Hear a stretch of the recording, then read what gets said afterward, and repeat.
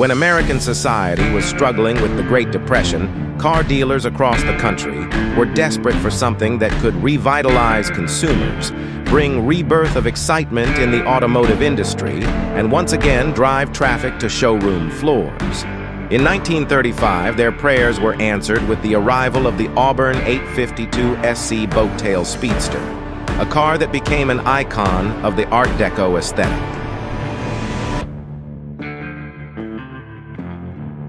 I think every human, in a way, ends up going through a rebirth at some point. There's many ways of being reborn again, and I think these cars deserve another chance.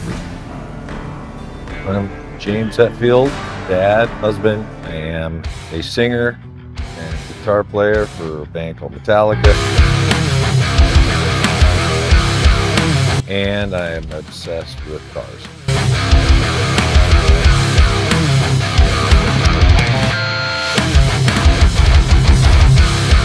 Petersen Museum obviously is the pinnacle of uh, any collection, I would say, of cars in the world. To be a part of that is an honor. And to be able to put these on display, someone else can get inspired, or some young kid says, hey, that's really cool, but I could do better. You know, that's what I would love to see.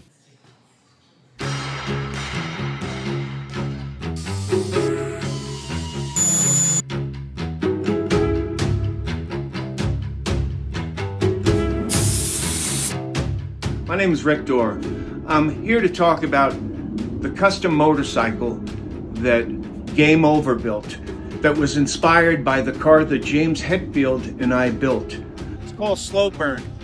Car, James bought this car, it was in a, like a swamp.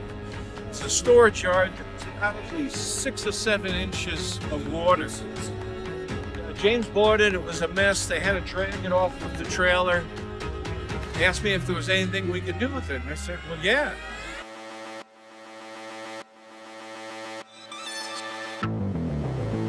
When we seen the pictures of the bike that Game Over built, we were just knocked out. It was incredible.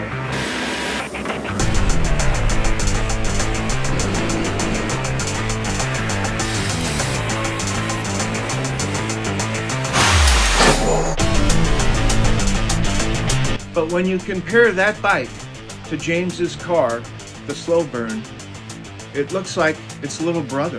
I mean, they just did an incredible job with the styling.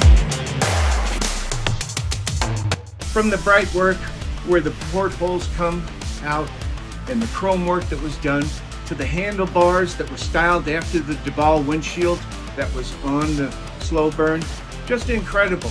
The color was right on, that root beer candy look, the wheels, everything was just right on. And knowing that the slow burn inspired that bike to be built is just kind of flattering.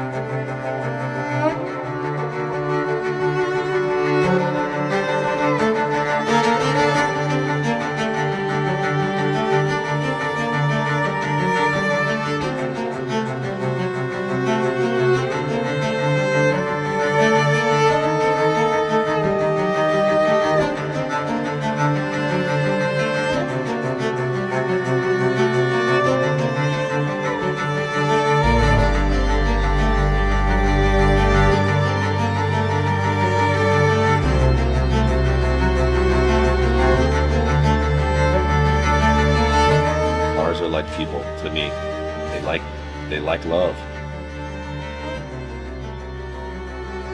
They love to be touched. They love to be handled. They love to be driven.